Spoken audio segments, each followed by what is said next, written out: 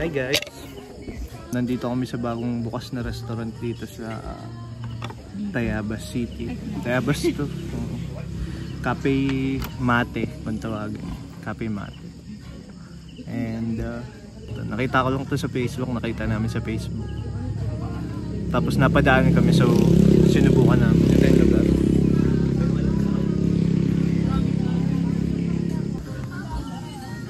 Ang ganda ng lugar. Chill.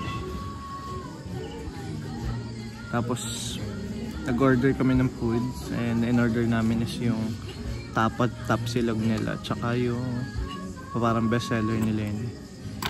Yung Cafe Mates Pares Overload. Try natin kung ayos nga.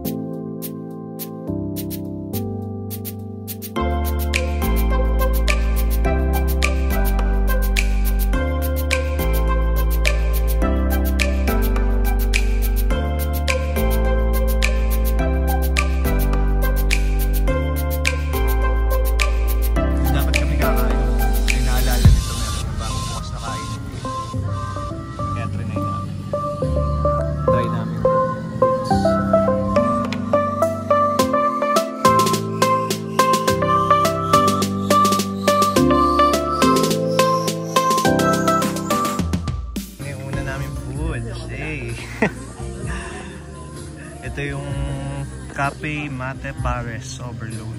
Mami Pares Overload. Na-try natin. Namin laho. Eh, May ano ka naman si...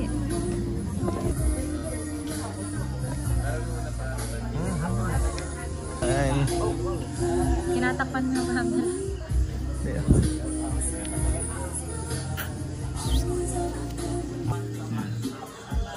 Ayun, ito na yung foods.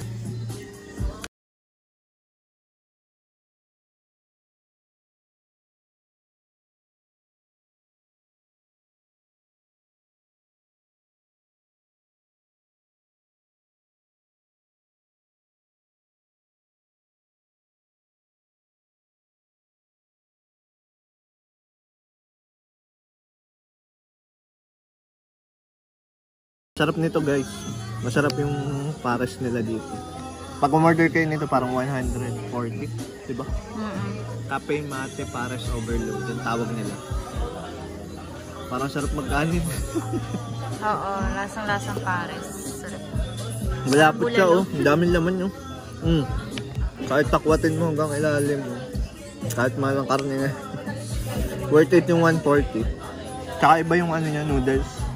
Malaki yan ganyan. Hindi yung typical na noodles pang ano.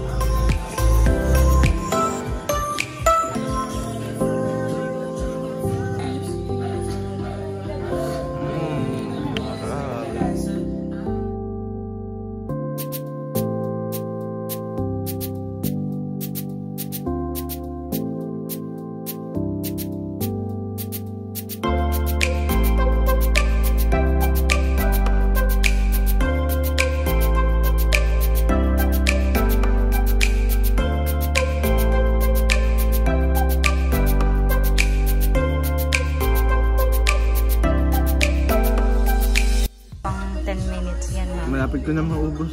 Wala pa siyang anak. Wala pa yung pagkain ko. Inubos na agad. Takaw.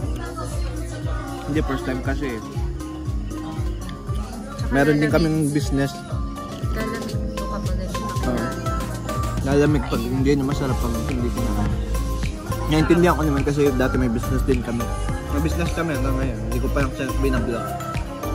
Nung first time namin, sobrang hirap talaga ng kakagod. Nalilito. Lalo pag dumagsa ang tao. Naulan. Hindi mo na alam kung sinong ano. Minsan nalilimutan mo yung order ng iba. Nauuna mo yung gawa ng iba. Kaya naintindihan ko.